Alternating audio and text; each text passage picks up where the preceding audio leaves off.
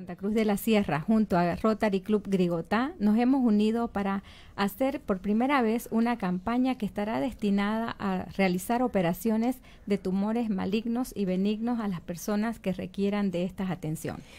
tumores en la piel. En la piel. Vamos a hacer esta preselección de las 50 personas a las que queremos operar de, esto, de estas afecciones. El día 2 de marzo, lunes, desde las 7 y media de la mañana, tienen que estar en Cerniquén en Ayuna. Cerniquén está eh, en la avenida alemana, pasando tres cuadras el quinto anillo, a la derecha, al lado del eh, módulo Los Tusequi.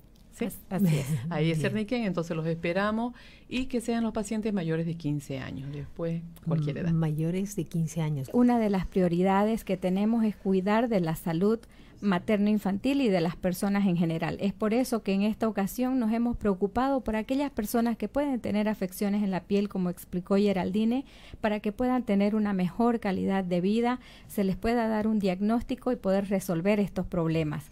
Eh, esta es una de las áreas que, nosotros atendemos y en esta ocasión nos hemos unido para hacer estas atenciones específicamente para el cuidado de la piel.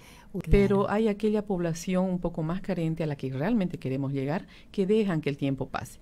Y las lesiones de piel no son en su mayoría malignas. Pero si tú dejas que el tiempo pase, ellas crecen, pueden tomar mayor área y profundidad sobre todo, y malignizarse y ser un poco más complicado. Así que ahí eso es lo que queremos llegar a prevenir, que lleguen a malignizar. Que se presenten directamente en Cerniquén el día lunes 2 de marzo a partir de las 7.30 estaremos eh, con los médicos para hacerles su evaluación. Les pedimos que preferentemente vayan en ayunas porque también le vamos a medir la glucosa, le vamos a medir la presión para tomar todas las precauciones posibles y saber eh, qué tipo de paciente es el que estamos recibiendo y poder preseleccionarlos para operarlos el día 6 y 7 de.